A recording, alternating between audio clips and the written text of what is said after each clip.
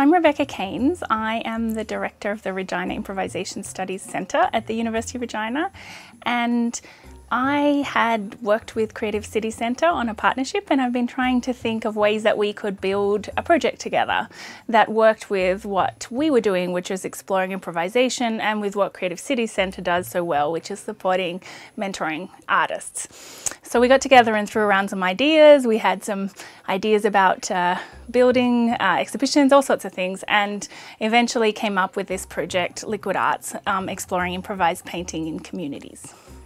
My name is Marian Donnelly. I am with the Creative City Centre in Regina, and the Creative City Centre was one of the uh, community partners in the Liquid Art Project. So we um, held most of the meetings uh, at our venue, and um, I helped to, you know, find the artists who were participating in the project and then we also help to connect with the high schools uh, where the artists were going to do their workshops.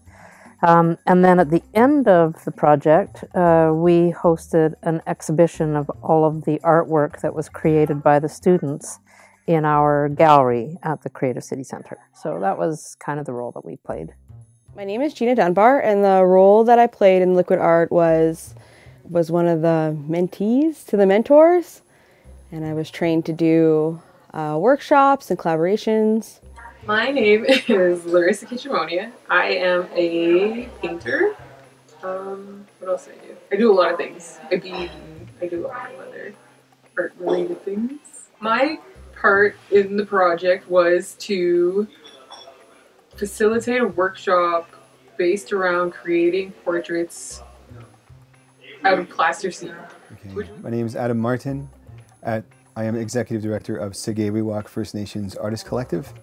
And my role in the Liquid Arts Project was um, as a partner in the community, helping to find artists working in a uh, more spontaneous sort of way. I mean, what yeah. we realized really quickly is that the, the image of liquid art was about art um, falling through from the top where the people are very established artists through to uh, kids who are just starting to work with practice um, and then back again. So this kind of image of art moving through the community and um, and what we wanted to make sure is that artists were being supported at all of those stages. So we looked at whether we could help uh, emerging artists get support from established artists that would help them kind of professionalize, think about what they wanted to do in their careers, learn some of the techniques of working in workshops, which is something not a lot of artists have done.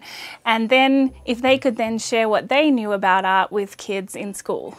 Um, and then through that, we could really look at this kind of flowing of ideas, of creativity, of knowledge from um, established artists through to kids and back again. And we wanted the community to be part of that, so that's why we brought in um, uh, elder knowledge and community knowledge as well, because we wanted it to not just be about art that was flowing through the community, but also about ideas of support of creativity and culture.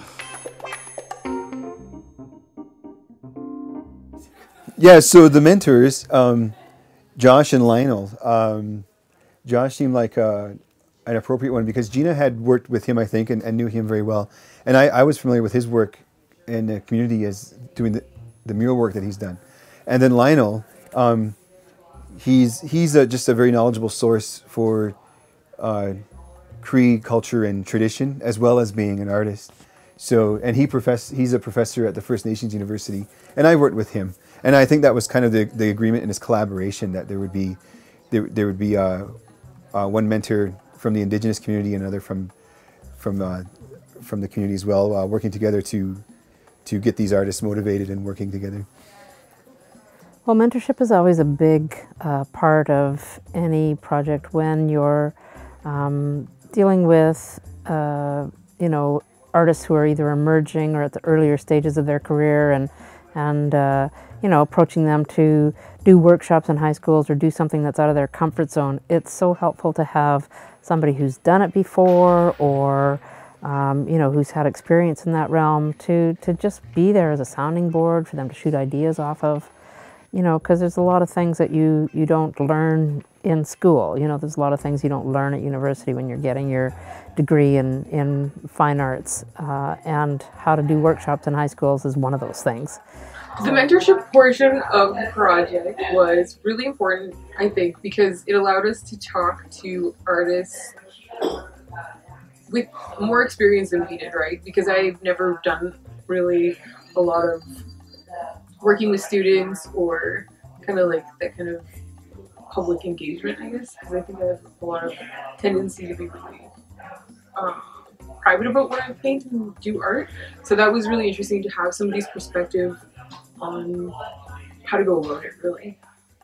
Uh, the experience I had with Josh and Lionel were really positive. It was really interesting to learn about like how you would write a proper artist resume, how you would go out and prepare your like portfolio, your your the way you'd run a workshop, how you'd line it up, and what kind of steps you'd take. Even when it came down to experience with doing your taxes as an artist or um, looking for funding, writing grants, stuff like that, that you wouldn't, if you didn't, if someone didn't teach you, you wouldn't know. I guess uh, Liquid Art brought in Joseph to come in and talk to me and uh, Larissa a little bit, and it was nice to have an, an elder come in and talk about uh, collaborations and projects as an Aboriginal artist coming in and and having a career in Canada as one. Uh, and it was nice to get in touch with my roots a bit more because I don't really know a lot about my father's side of the family. So it's nice to be connected like that and and bring also that into my my my art. And taking Larissa and Gina into the schools and helping them to imagine how they can teach a bunch of kids a workshop was kind of amazing and seeing them think about what they were as artists and how they could break that down and share that with people, what was unique to what they did, you know, and I mentored them as well as a community engaged artist about what it, the difference is between being an artist and being a school teacher. And they got to bring in what it's like to be an artist to these kids who just really hadn't had access to that before. And the teachers became part of the mentoring as well. So they were mentoring their students in the classroom with the with the young artists and that was pretty exciting. Working with students was interesting. I think I had worked with students before, but they were younger. So that was like you went in and they were excited to be there, and everybody was really excited and interested in what you were doing. And this was more teenagers, and they were like, eh, I don't know if I like you. So then we had to like be the enthusiasm that they didn't necessarily bring because they were too. You know what I mean? So um, it was good though. Like it's always interesting seeing people at the beginning stages of their creative lives, right? And I had a really great um, teacher in another project that I did, and she told me that it's just one student that you need to inspire. One person that is going to walk away from this and be like, yes, I want to do art. And so that was really important for me to keep that in mind. I think everybody thought I was crazy. Because it was plasticine art, so it was just like, oh my god, this is not, no. And then, I think they liked it though. I think overall it was positive. With working with students in the different schools, I've had some experience. I work with kids quite a bit, but I've never worked, it was more with like projects with like festivals and stuff. So when I was actually in a classroom setting, it was a little different for each type of age group. Overall, though, the feedback was really good. They a lot of them with my type of workshop, they got to have free range, so it made it really easy for them to come in and do what they want without so much structure, but still having the same like creative outcome. Um, with the, when it came to the workshops, I did uh, found art or mixed media art. Some people call it folk art or trash art, where I found different people in the community to donate all the stuff that they didn't want anymore, such as um, broken pieces of jewelry, um, old frames, old fabric, and then I'd bring so everything but the paint and paintbrush to these workshops and get them to challenge themselves to cha change someone else's garbage into pieces of art it's not that common here, so uh, how they responded was pretty funny at first. Some of them didn't really understand, but then once I showed them slides from around the world with with full murals done by recycled car parts or uh, different types of uh, shrines that use all upcycled, like all recycled and upcycled items. They kind of got the gist of it, and then they were able to use their imagination and create their own little sceneries or their own shrines or their own pieces. I mean, I, th I think that having uh, these artists, Gina and Larissa, going into the high schools, I think it has impact on both uh, the, stu the students in the schools as well as on Gina and Larissa, right? So the impact, I mean, I, I saw it, you know, in the school kids that came for the exhibition, you know, they um, they were so thrilled to have a show that was happening outside of their school. They were so thrilled to actually be in a professional gallery and see their work on the walls and be able to explain to their you know parent or whoever they brought with them you know hey this is my work i did this and then the other the flip side of it was the impact that it had on on gina and larissa like i know that both of them grew in self-confidence from having that experience not just as um, artists, but as people too, right? You know, like that was their first time of getting in front of a group of students and having to share what they know about things. So for me, improvisation existed in the way that Gina gathered her found materials. It existed in the way that Larissa tried to find new artists that would inspire the young people. And it certainly existed in the live events when we saw them painting and responding, and particularly at the museum where the artists were collecting ideas from the audience and then incorporating them into these ongoing paintings. That was really exciting because to me, I saw this kind of collaborative real-time decision making, but in a really beautiful community engaged way that was very specific to these artists and what they do.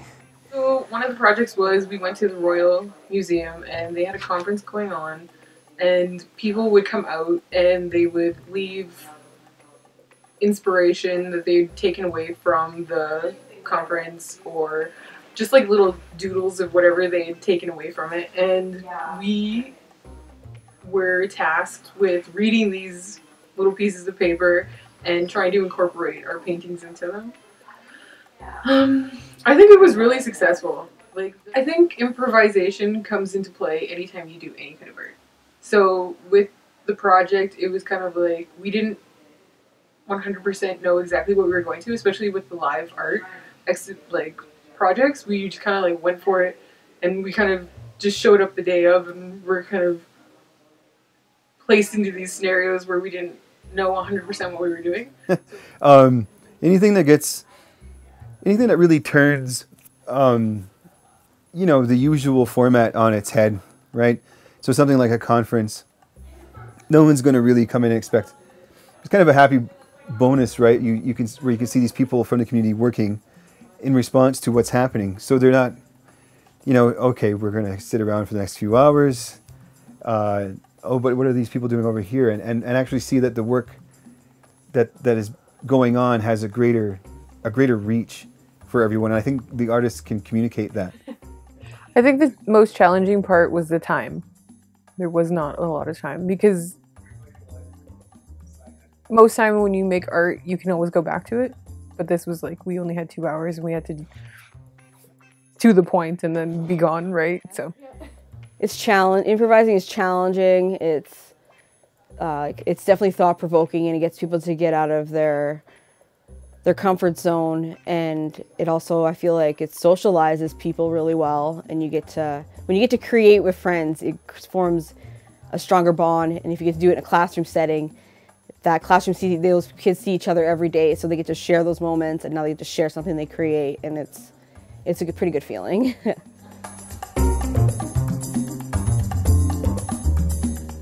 very rewarding and and it helped shape me who I am today as an artist. For sure.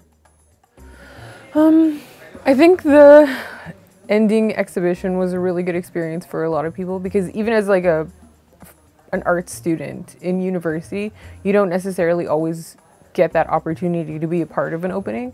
So it was like really important to have them experience that scenario and to go through it and to know exactly like what it means to be an artist. So that was important. I would like to do it again. Um, it was interesting. Like uh, Sâkêwêwak is a multidisciplinary organization, so we're always trying to find ways to make everyone happy in, in their specific genres, but also uh, collaborations that bring Indigenous artists, culture, and knowledge to um, a partner organization in a community. Anything like that, and, and especially this one where it was interacting with uh, components in the community.